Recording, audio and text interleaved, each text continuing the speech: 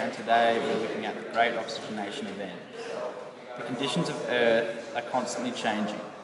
When we compare the environment of the world today with the climate 4 billion years ago, it is drastically different, as shown. As you can see, there was no oxygen present in the atmosphere 4 billion years ago, rendering life on Earth uninhabitable. Or was it? We're now going to cross to our presenter in the field, Aidan, with Dr. Hooper. Thanks, Daniel. I'm here with Professor Hooper, who's going to tell us a bit about life at the very earliest stages on Earth. We know that about 4 billion years ago, there was water on Earth, and that would indicate some sort of atmosphere. Can you tell us about the type of atmosphere that was on Earth at that time?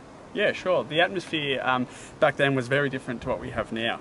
There was a high amount of nitrogen present in the atmosphere, um, which is similar today. However, the amount of carbon dioxide and carbon monoxide um, was so great that it would have been uninhabitable for humans. Really? Yeah, so, but most importantly, the amount of oxygen in the atmosphere was um, very, very minimal. That seems seems dangerous to life as we know it. Does that just mean at that time there was no life on Earth, or were there any sort of small things around that you can tell us about? No, not at all. There are actually many microbes present in these anoxic conditions. These microbes are called anaerobes. Mm. Uh, anaerobes are organisms that are able to produce their own energy in the absence of oxygen.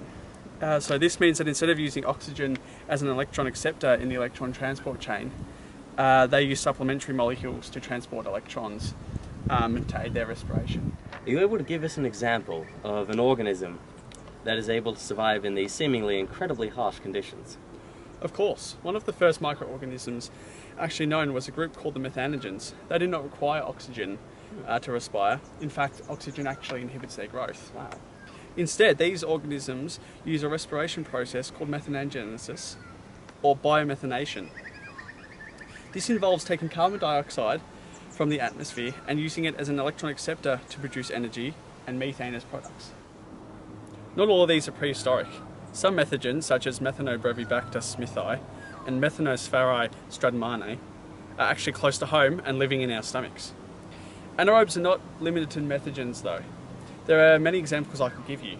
Geobacter, which reduces iron 3 plus to iron 2 plus, mm -hmm. uh, and E. coli, which reduces nitrate to nitrite.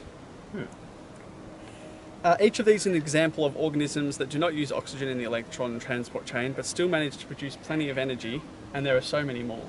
That is incredibly fascinating. Now, I believe we've been taken to this particular location for a reason. Could you tell us about these rocks that we're standing in front of? Yeah, I'm glad you asked, but before I answer that question, however, I need to tell you a classic tale, as we now know is called the Great Oxygenation Event. That sounds impressive. As we now know, in the past there was very little oxygen present in the atmosphere. However, today it is abundant and able to sustain life. This was no miracle. This was the work of a group of photosynthetic microbes known as cyanobacteria. By about 2.7 billion years ago, these helpful little organisms had become a prevalent life form. The reason these organisms were so helpful to us was the fact that they utilised carbon dioxide and water in the atmosphere, along with sunlight in respiration to produce energy with oxygen as a byproduct. This was one huge step in the evolution for life as oxygen levels increased in the atmosphere, a layer of ozone began to form. This stabilised the climate on Earth by blocking harsh UV rays coming from the sun. As well as this, the, pres the, presence of oxygen gas on the Earth gave rise to a huge step in the diversity of life, specifically organisms that use oxygen in respiration, which we now more commonly refer to as aerobes. Now to answer your question, if you look closely at these rocks, you will see a reddish brown pigment through them, as you can see here. This was caused by the reaction of water and oxygen in the environment with the iron in the rock itself. This reaction took place over, over millions of years um, and is the evidence of cyanobacteria being present with oxygen in the atmosphere greatly increasing also. These reddish, these reddish brown pigments uh, are called banded um, iron formations. Today we know that if we see these formations, uh, an oxygen producing organism is uh, present um, in, the, um, in the area. Wow, I never knew that bacteria was so important to life on Earth today. We rarely do have cyanobacteria to thank for our present place on Earth. Back to you, Daniel. Thanks, Aidan.